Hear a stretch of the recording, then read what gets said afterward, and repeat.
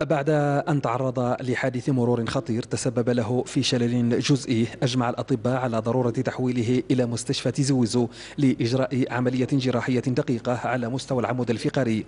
فكانت مساعدة طيران التصل وسونتراك في الموعد. جبدتني شوية جهة لاغوش والفراس الزوج جهة الأدروات خممت أني كون نهز جهة الأدروات نهز الفراس تاعي تكون الخسائر مادية وبشرية. دار حادث مرور إصابة في العمود الفقري لازم يوصل على وجه الاستعجال للشمال. أو مدينه المستشفى الجامعي ساعتيزي وزو.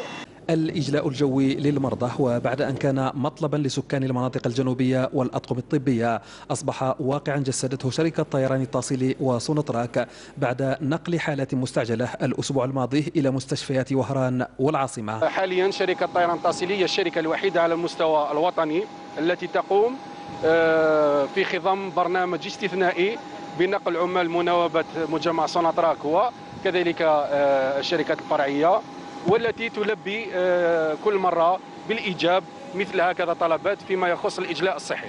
الشركة تتكفل بنقل هذا المريض من عين ميناس إلى الجزائر العاصمة عبر الرحلة المبرمجة للشركة.